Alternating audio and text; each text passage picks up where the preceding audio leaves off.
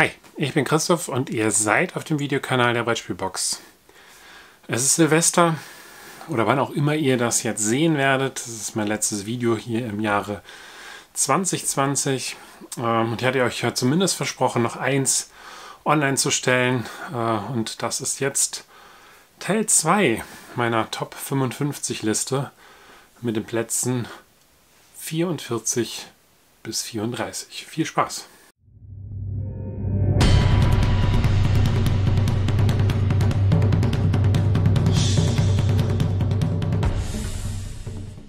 Auf Platz 44 habe ich für mich die Crew gesetzt. Ist in diesem Jahr herausgekommen, ist eines der aktuellsten Spiele auf der Liste bei Cosmos. Autor ist Thomas Singh und es hat direkt den Kennerspielpreis in diesem Jahr abgeräumt. Ja, ich denke mal, die meisten, den meisten muss ich jetzt gar nicht mehr großartig was dazu sagen. Äh, die Crew ist ein kooperatives Stichspiel, bei dem wir Aufgaben bekommen. Wir sind im Weltraum unterwegs. Äh, demnächst geht es mit dem Teil 2 in die Tiefsee. Ich bin gespannt, was da Neues kommen wird. Aber wir sind jetzt erstmal im Weltraum und bekommen verschiedene Aufgaben gestellt. Da wird die Reihenfolge der Stiche festgelegt, da wird festgelegt, wann wir miteinander kommunizieren dürfen, denn das ist generell ja eigentlich weitestgehend verboten. Wir haben allerdings einen Marker, mit dem wir äh, im Spiel halt einmalig äh, uns Hinweise geben können, also in einer Partie. Und so wird das Ganze von Mission zu Mission aufwendiger, schwieriger. Ähm, man kann das Ganze mit drei bis fünf Leuten spielen. Mit dreien ist es einfacher als mit fünf, logisch. Äh, wenn ich fünf Leute koordinieren will, dann ist das natürlich eine Herausforderung. Mir hat jedenfalls die Crew sehr gut gefallen. Ein wirklich sehr kurzweiliges, innovatives ähm, Kartenstichspiel. Platz 44. Auf Platz 43 ist ein Spiel, ja, was aus den Anfängen der Brettspielbox noch herrührt. Ähm, stammt aus dem Jahr 2013. Die Brettspielbox ist 2014 offiziell online gegangen. Ähm, und es war eine meiner ersten Rezensionen, äh, die auch netterweise dann von Feuerland ähm, verlinkt wurde. Die Rede ist hier von Viticulture. Und äh, Viticulture kam oder kommt von äh, Stonemeyer Games ist dann auf Deutsch von Feuerland Spiele oder Feuerland, äh, ja, Feuerland Verlag herausgebracht äh, worden. Äh, Autoren sind Jamie Steckmeyer und Alan Stone. Ich muss bei Jamie immer den Vornamen ablesen. Warum auch immer habe ich mir da einen Jeremy eingeprägt, aber er heißt Jamie Steckmeyer. Ja, und hier haben wir ein wirklich wunderbar äh, erstmal ausgestattetes ähm, Stonemeyer Games äh, Spiel, was dann die nachfolgenden oder ich sag mal so die der Benchmark für die nachfolgenden Spiele war äh, und er das eigentlich auch immer erreicht hat. Und es geht äh, um Weinanbau. Ähm, wir sind äh, in der Toskana und haben ein Weingut und äh, ja, es ist ein klassisches Worker Placement Spiel. Ähm, dazu haben wir die Möglichkeit, den Wein zu in bestimmten äh, Abständen äh, zu verkaufen oder weiter reifen zu lassen, ihn höherwertiger machen zu lassen. Es gibt Erweiterungen, wo Besucher hineinkommen und, und, und. Also ein sehr, sehr opulentes äh, Spiel. Es gab dann ja auch die Tuscany-Erweiterung. Ähm, ich habe ähm, dann eben halt beides in diesem großen Schuber. Und ja, hat mir viel, viel Spaß gemacht bisher. Ist aber leider schon ein, zwei, drei Jahre schon nicht mehr auf meinem Spieltisch gelandet. Äh, wäre eigentlich mal längst hinfällig, das Spiel wieder herauszuholen. 2018 ähm, war dann das Jahr des Platz 42 Railroad Inc. von Horrible Guild, damals noch Horrible Games, die haben sich ja umbenannt.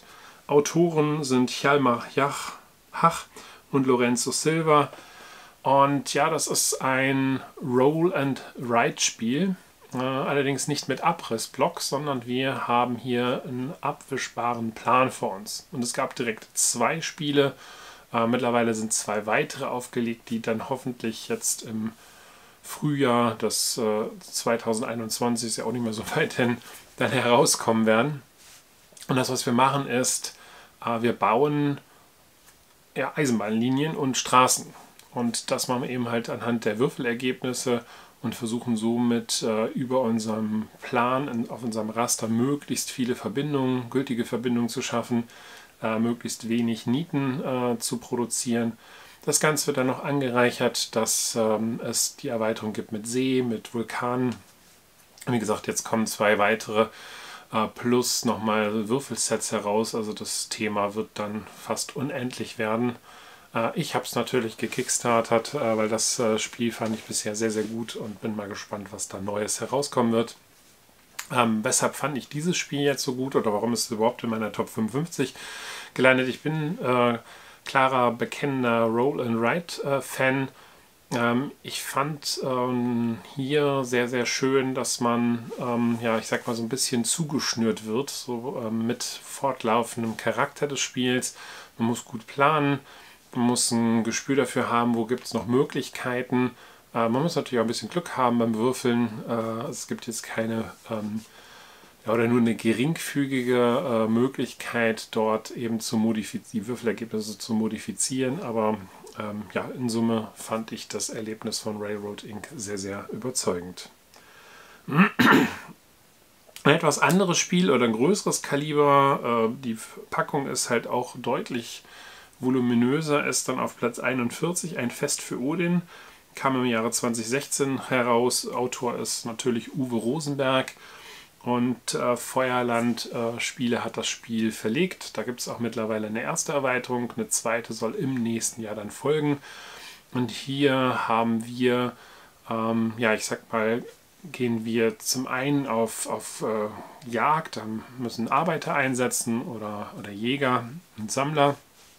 Und auf der anderen Seite puzzeln wir dann äh, eben halt auf unserem Gebiet und schalten uns äh, bestimmte Sachen frei also das ist schon sehr eng miteinander verzahnt, nicht einfach unbedingt zu spielen.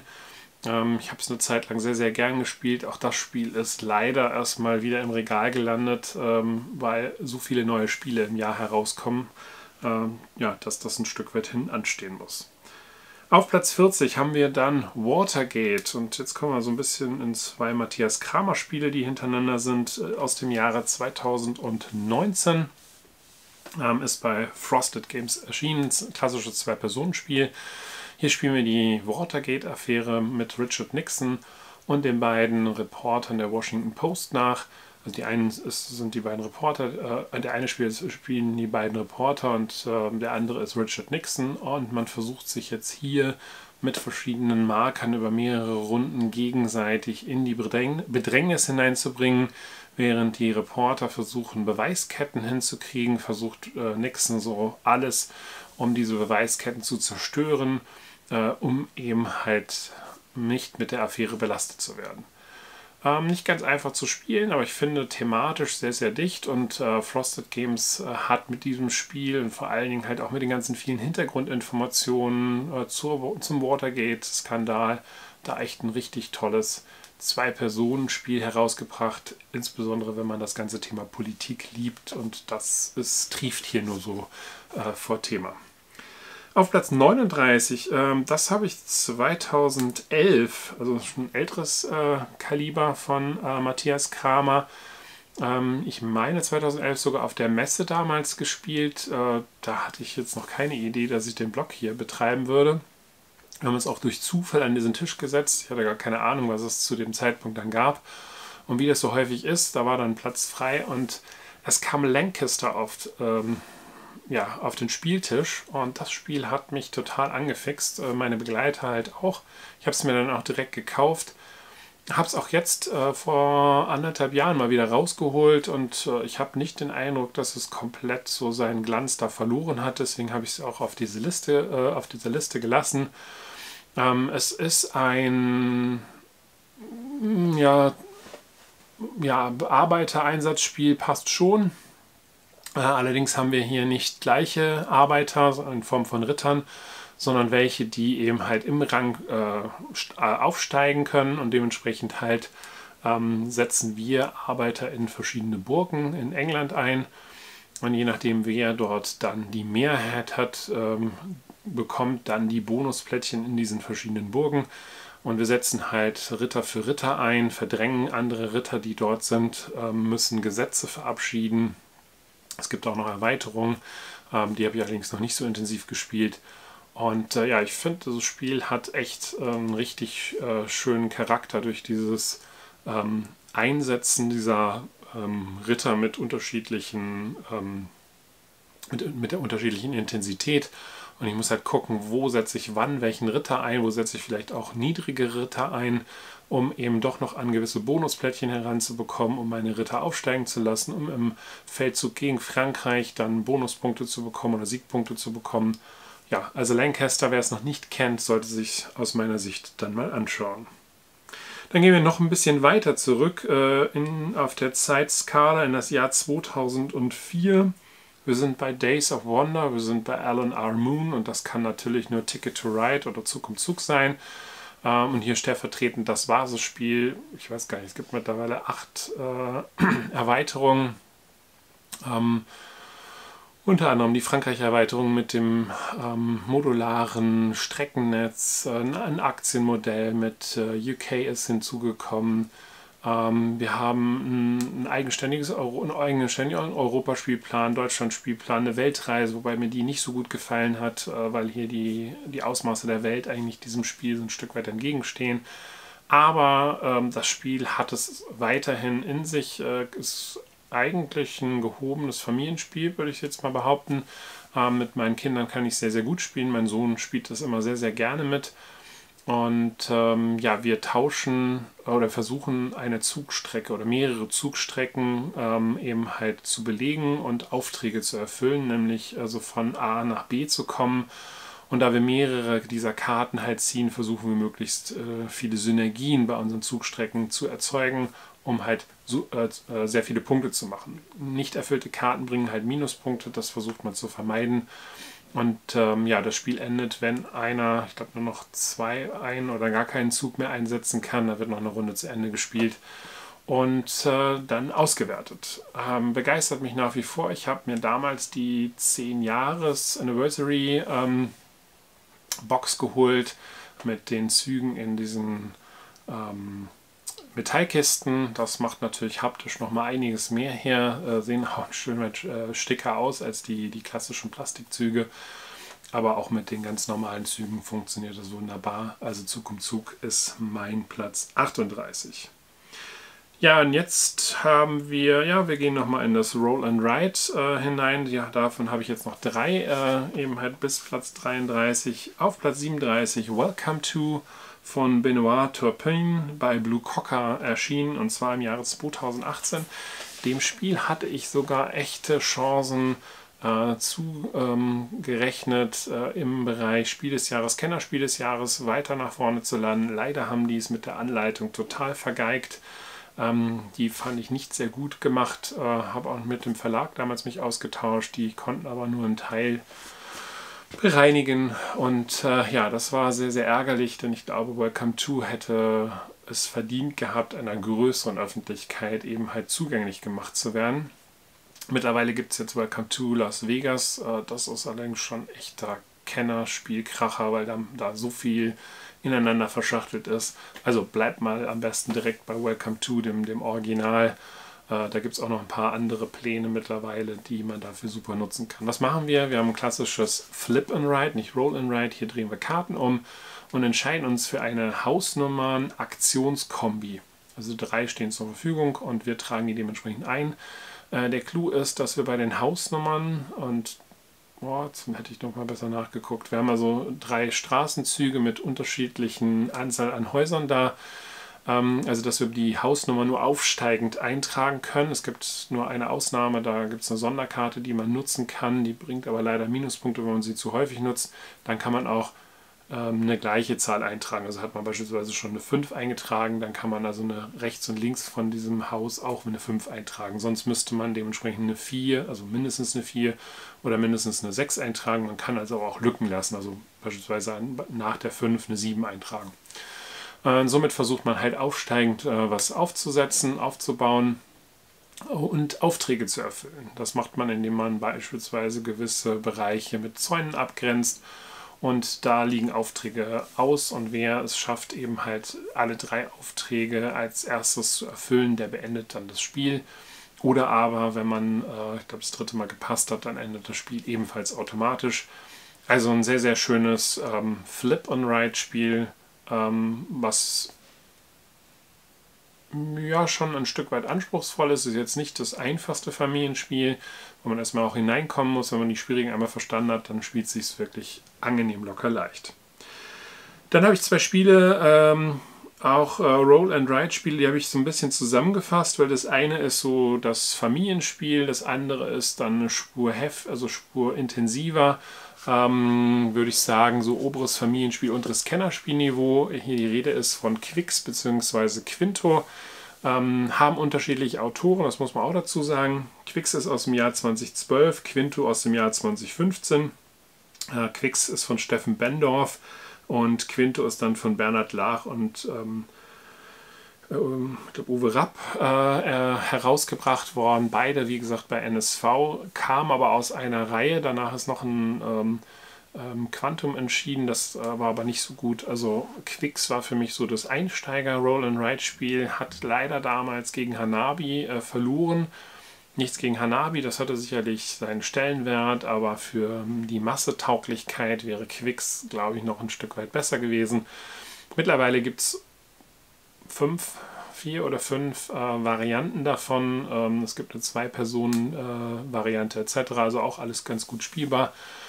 Aber Quix ist nach wie vor immer noch so das Highlight. Gibt auch eine sehr schöne App, die man spielen kann, sowohl solo als auch äh, zu zweit. Und das äh, Ganze funktioniert so, dass äh, sechs Würfel gewürfelt werden. Da sind vier farbige und zwei weiße. Die weißen Würfel, die äh, sind immer für alle äh, zur Verfügung, während der aktive Spieler entweder zwei, aus den zwei weißen oder eben halt einer Kombi weiß mit äh, Farbe wählen kann. Und ähm, dementsprechend äh, dann einträgt. Wir haben zwei Reihen, die sind aufsteigend von 2 bis 12. Wir haben zwei Reihen, die sind absteigend von zwei, äh, 12 bis 2. Und hier habe ich ebenfalls äh, die Möglichkeit, dann von äh, links nach rechts eben halt anzukreuzen. Habe ich ein Kreuz gemacht, habe ich nicht mehr die Möglichkeit, ein Kreuz davor zu setzen. Äh, so sind die Regeln. Und am Ende wird gezählt, wie viele Kreuze habe ich in einer Reihe gemacht. Und das äh, gibt dann einen äh, Siegpunktwert äh, und ich addiere dann diese vier Werte auf. Hm, wenn ich passen muss, weil das manchmal von Vorteil ist, weil ich halt einfach sonst mir eine Reihe kaputt mache oder aber vielleicht auch nicht einsetzen kann, kostet das jeweils Minuspunkte. Die muss ich natürlich am Ende abziehen. Ähm, Quinto funktioniert ähnlich. Ähm, hier muss ich allerdings auch noch die Reihen untereinander, hier habe ich nur drei Reihen und hier muss ich auch noch die Reihen untereinander in äh, Vergleich stellen und ich kriege bestimmte Punkte, wenn ich bestimmte Spalten dann ausgefüllt habe, ähm, was das Ganze nicht unbedingt einfacher macht. Deswegen habe ich gesagt, Quinto ist so für mich so das fortgeschrittene Modell äh, aus der Quicks-Reihe, aber nichtsdestotrotz äh, genauso gut. Auf Platz 35, wir sind im Jahre 2013. Mac Gertz hat zugeschlagen beim PD-Verlag, ist für mich das Spiel Concordia. Ähm, ein Spiel, was so im römischen Reich äh, sich abspielt. Es gibt mittlerweile ganz viele Karten dafür. Es gibt auch eine Teamvariante äh, mit Venus, also Concordia Venus. Und das Spiel hat es tatsächlich mir auch sehr gut angetan. Äh, wir haben hier ein, ja, man kann sagen, so eine Art Deckbuilding. Ähm, ich spiele halt Karten aus und äh, versuche mich auf einer Landkarte ähm, auszubreiten, versuche Rohstoffe zu erwerben ähm, und äh, Produktionsstätten dorthin zu setzen. Ähm, und äh, das wesentliche Element ist bei diesem Spiel eben halt das Handkartenmanagement, weil ich mit, mit einer bestimmten Karte die Karten auch wieder zurückholen kann. Das ist aber immer eine Aktion. Das muss ich sauber durchplanen. Ich kann neue Karten dazu bekommen, höherwertige Karten. Man muss halt gucken, wann ich was wie für mich dann dementsprechend einsetze. Ähm, ich fand das immer recht flott zu spielen, ähm, auch wenn es nicht ganz ohne ist, ähm, es zu beherrschen. Dann kommen wir zu Platz 34 aus dem Jahre 2018, 19 und 20. Also drei Spiele wieder in einem. Ähm, ja, wer die Logik jetzt kennt, wird wahrscheinlich schon vermuten, was es sein wird. Äh, denn welcher Dreiteiler ist in diesen drei Jahren herausgekommen? Nämlich ganz schön clever, doppelt so clever oder jetzt erst kürzlich clever hoch 3 äh, von Wolfgang Warsch. Ja, 2018 war das Wolfgang Warsch ja. Ähm, hatte ja dann auch äh, mit die Quacksalber von Quedlinburg das Kennerspiel im Gepäck, ist bei Schmidt Spiele erschienen. Und äh, hier haben wir wieder ein klassisches Roll-and-Ride-Spiel. Allerdings schon etwas kniffliger, ähm, denn da waren ganz, ganz viele Kettenzüge dabei, die sich sowohl in der ersten wie auch in der zweiten als auch in der dritten äh, Episode jetzt fortgesetzt haben mit immer wieder neuen Kniffen. Wenn ich die drei miteinander vergleichen soll, klar, dann hat natürlich ganz schön clever äh, 1 da für mich den ersten Rang. Clever äh, hoch 3 finde ich äh, mittlerweile äh, ja, fast ebenbürtig, spiele ich aktuell sehr, sehr viel, auch in der App. Also alle drei sind auch als App-Umsetzung mittlerweile erhältlich. Ich finde es fast solo schöner zu spielen, als wenn man es mit anderen Leuten spielt. Da würde ich wahrscheinlich nur auf ähm, ganz schön clever gehen, denn die anderen beiden haben mir da doch zu viele Winkel und Kniffe drin.